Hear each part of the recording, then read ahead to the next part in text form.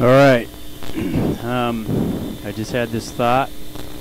One of the reasons why it's good to always keep the angels in our minds at all times, all awareness that they're all around, is because it causes us to desire safety everywhere we go.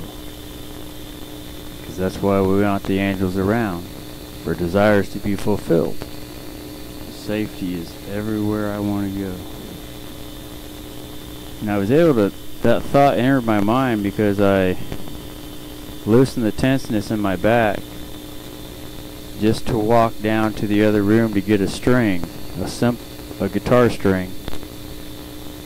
Whereas usually I'm all in a rush, all tensed up because I'm all excited. I want to get the guitar record, the YouTube video on YouTube so everyone could see it. Plus so I could have a record for it. That's the main priority, but probably at its root I want attention. The little kid in me wants attention. But, so as I was going down the other room to get the string, I slowed down to a normal pace, let the tension release out of my back. That's when that thought finally shot in. As I was walking down there toward the string, all of a sudden I said, oh yeah, the angels.